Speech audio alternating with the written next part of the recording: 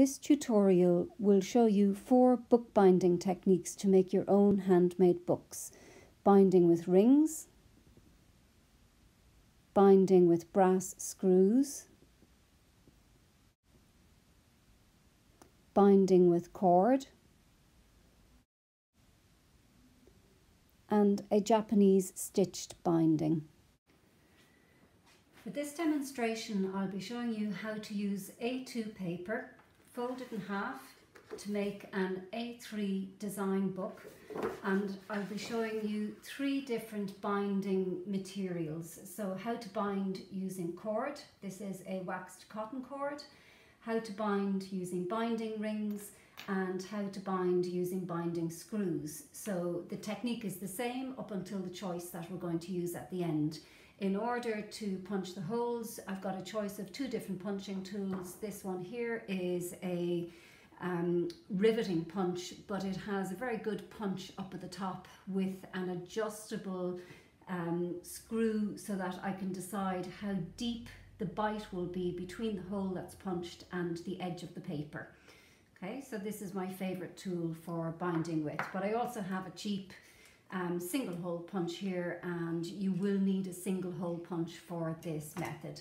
Okay, to start with, I need to make a template that I will use for punching holes in all of the sheets of paper. I won't be able to punch the holes in one go, so I will need to punch in sections. I will punch maybe four sheets of paper at a time and then I can use the same template to punch the next four. So one of the most reliable ways to make a template is to take one of the sheets you're planning to work with and to tear it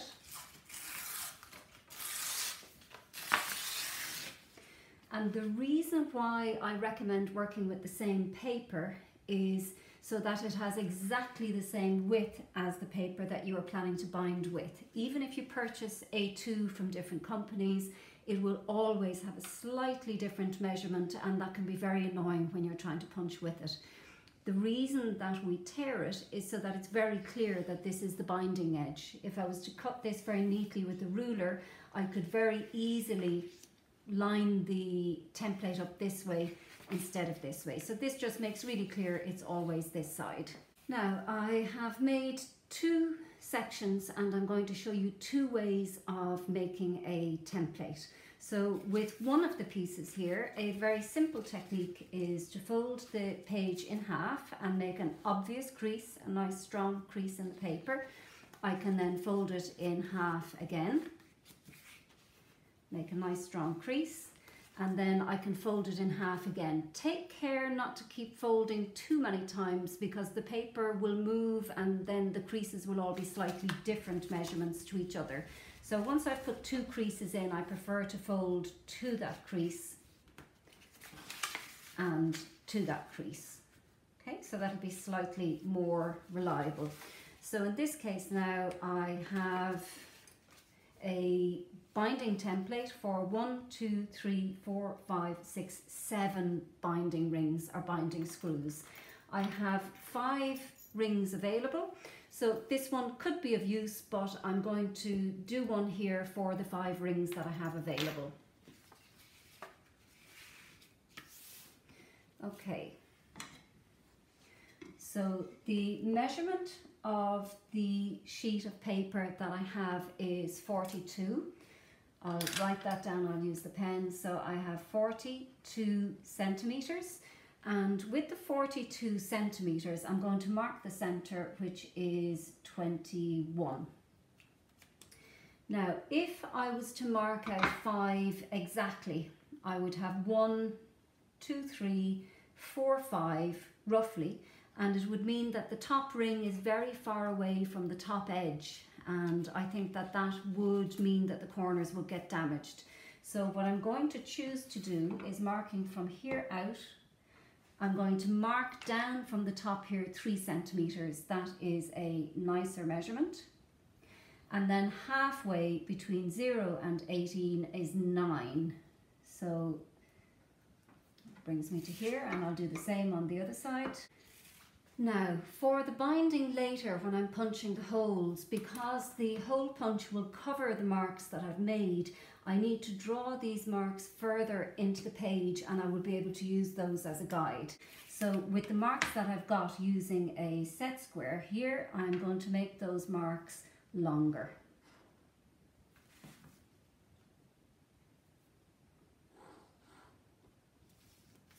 Okay, so with the marks on the page, it's now very clear that this is the correct side of the template and this is the correct edge and I won't be able to use this side by mistake. So it makes it very clear as I punch my signatures of four pages, I can punch four, I can line this up with the next lot and punch the next four and it will always be in the same direction. Okay, so the first step then is to fold all of the pages in half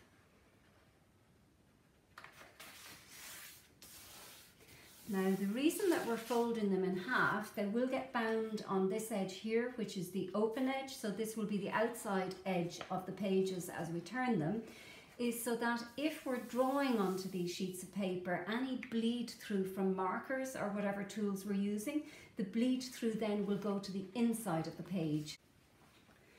Now, so I have folded all of the pages. I have a black page, again, folded in half, like this for the cover.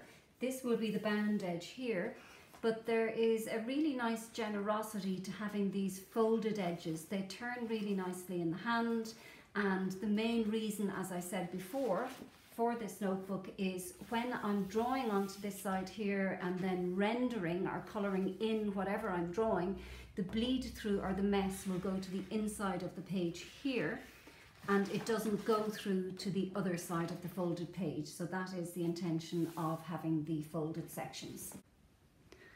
Now, for binding the book together, I have a cover on the front, I have a cover on the back, and I have one, two, three, four, five, six, seven double pages. So that means I have 14, 15, 16, 17, 18 sheets of paper on the edge that I want to bind. So if I take about three, I think I could manage about four. For safety, I'll take about three each time.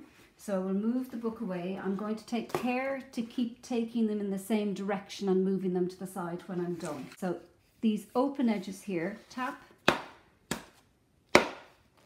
on the table and then I normally lean them off the side of the table and put pegs on the edge so before they get a chance to move and then I can line the template up on the edge of the book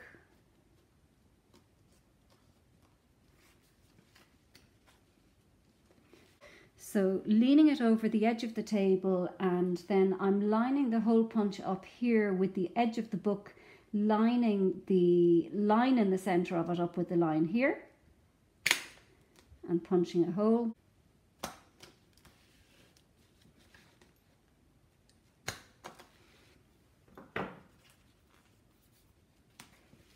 Okay, so once I'm finished with one section, to systematically not to flip them over by accident, to make a decision, I'm always going to turn them over once in this direction and the next bundle will get placed on top. I can take the next three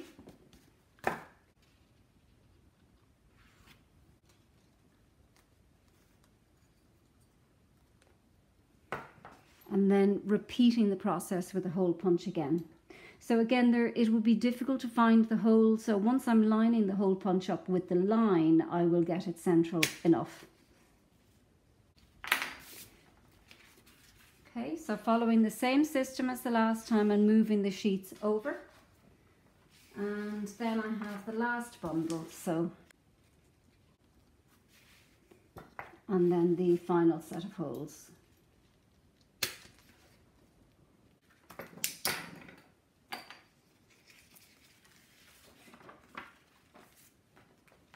Okay, and moving the last piece over to join the rest of the notebook. So a good tip for helping to align all of these holes is to either use a paintbrush or a, a chopstick here will do the same thing and that will have them all aligned for you. Okay, so what I would recommend if you're starting a book and you're doing something like design work and you know that you will be adding more pages to the book, I would always recommend that you keep your template and that you can bind it in with the rest of your work. So I'm just going to open up the pegs here again and I'm going to add it in as the last page in the book. Okay, so of all of the binding materials that I've got, the easiest to work with are the binding rings. So the binding rings, you can lever the ring open slightly to the side like that, and then it swings open. So we simply insert that here through the hole and it just pushes shut like that. So one,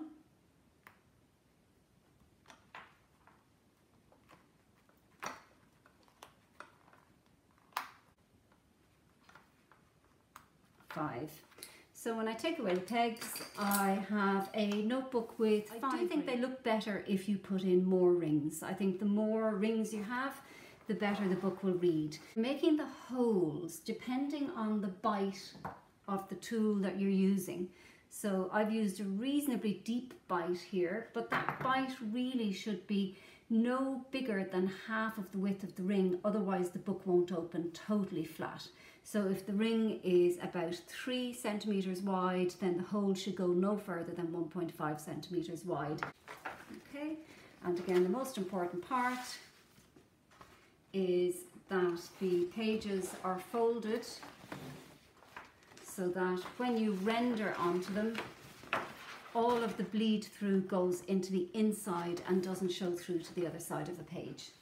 Okay, so binding screws are another option. I have five binding screws here. They can be tightened with a screwdriver. Um, they have one side with a slot and one flat side and they simply unscrew and the binding screw should fit through the holes that you've made. Okay, and then the screw will go through and close like that. Okay, so the screws have a very specific depth and will fit a very specific number of pages, so they can be a little bit more tricky to work with than the uh, rings. Okay, so that's all of the five um, brass screws I in prefer place. the look of them with the slot side. So worth remembering if you're working with the notebook, you'll notice that the book doesn't open out flat because the screws are holding the binding um, closed. So really you're losing about this amount of every page that you're working with. So it is a limitation of working with these screws and it may be harder to work into when you can't open your notebook out flat. It will certainly be harder to draw into. So I think this as a presentation is maybe more suitable for end of year presentation rather than work as you're going along. Okay, so the next technique that I'm going to show you is working with a cord. So this is the waxed cotton cord.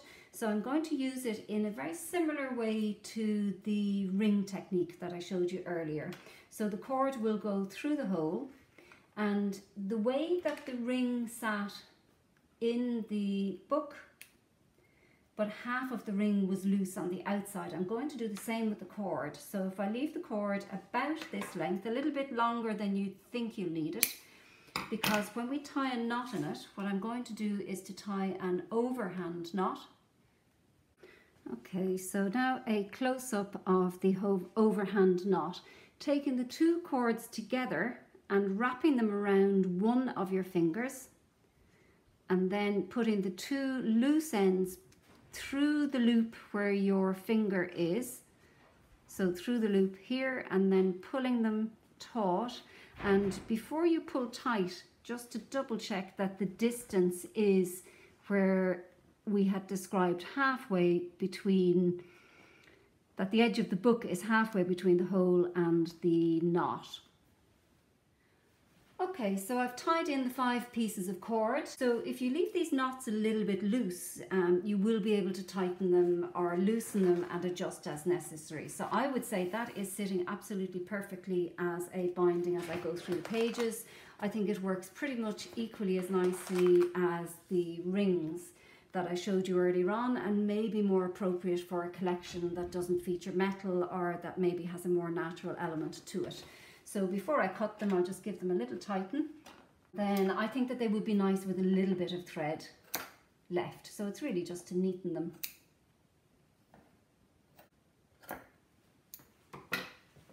Okay, and that is the finished book. Back together again. I have this gold cord and the cord needs to go through the holes three times per hole. So don't choose cord that's really thick and really thin is okay so long as it's strong. So as a guide, you will need three times the length of your book. So that's twice and three times. And just to be a little bit forgiving, I'm going to add a little bit extra. So I'll give it an extra half. Okay, the easiest tool to stitch with is a reasonably blunt needle. This one here has a blunt tip and it has a very large hole at the end. So when I thread my cord in, I'm just going to tie a little knot in it so it doesn't keep falling out. Okay, single knot should be okay. So what I need to do is to stitch into every hole twice and I'm going to start on the end and work my way down along. So on the first hole here, I'm stitching in from the top. So after that first stitch, I need to leave a little bit of thread so that I can tie it off at the end. So I'm going to use the peg to hold it tight so that it doesn't keep falling out on me. So I've gone in once from the top, so I'm going to go in a second time from the top and pull the cord tight, get a little bit of tension.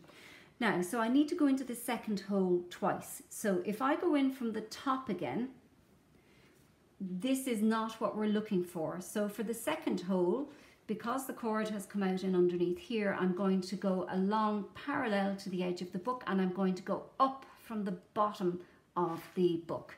So with this second hole, I'm stitching twice up from the bottom. So that is once.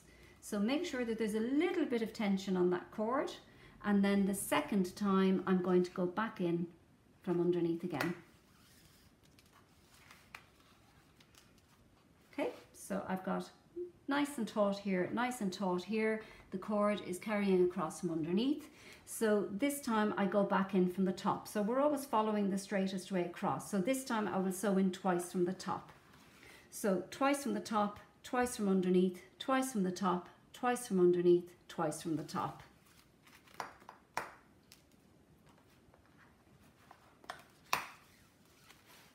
And then for the last hole, twice from the top.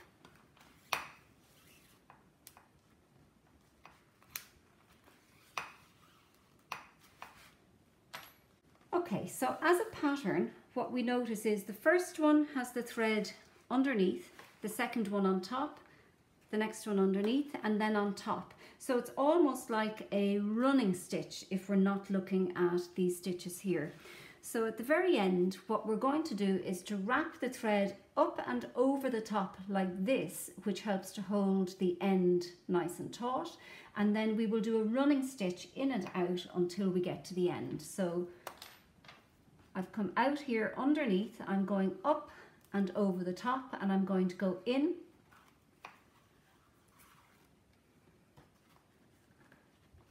and then from here I'm going to go up and down and up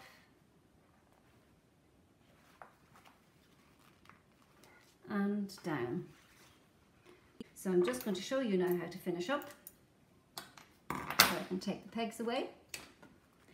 So if this is the front of the book, what I would recommend is turning the book upside down. I could tie a knot here, but then I have no way to tidy away the thread. So I'll turn the book over. And this hole here is a good place to finish up the work. So what I'm going to do is I'll just make this thread here a little bit shorter. I'm going to tie a reef knot. So if I tie right behind left, left behind right. So right behind left, and then left behind right. Okay, and then I think it looks quite nice if you leave a little knot I like the honesty of the little piece of thread um, being cut short there. I wouldn't cut it too short just in case it loosens. Okay, so again, with this type of a binding, the notebook doesn't open out fully flat. So what will make it easier to work with is to pre-fold all of the creases where it does open. It's not the end of the world if you want to add extra pages. You can simply open the binding here, cut it open. It doesn't take so long to sew it up again. Okay, so that is the Japanese bookbinding stitch.